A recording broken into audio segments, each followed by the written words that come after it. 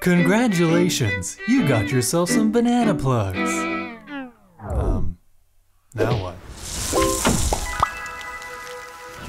So once you've stripped away a little bit of the sheathing, as you can see, I've done about inch and a half or two inches there. Uh, we really don't need a lot of the bare wire to be showing. So maybe even just like a half a centimeter or quarter of an inch or something. Not much. Just enough to splay it over the banana clip sides. Just a little bit.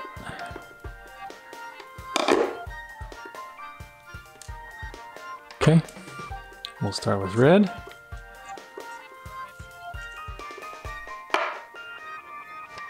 All right, red to red. Twist that just a little bit just to get it through that hole a little bit nicer. Okay, now we're gonna splay it out. Splay, splay. Splay it all out so it kind of goes around this hole. Doesn't have to be perfectly evenly distributed, but just kind of get it around as much as you can.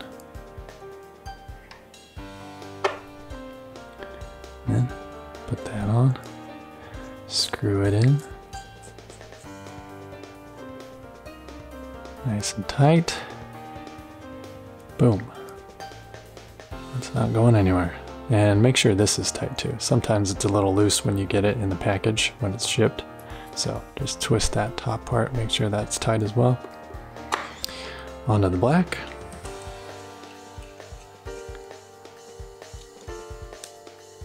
Same thing.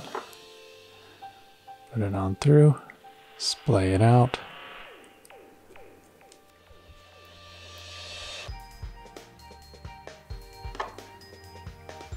Put this back on.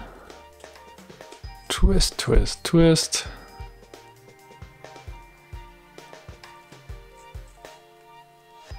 Nice and tight.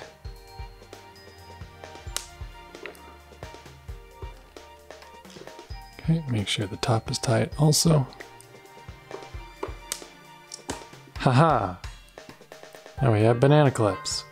And now, in the case of these binding posts here on the back of these speakers, or you might have binding posts on the back of your receiver, instead of having to feed the bare wire through, you can now just match red to red, stick it straight in.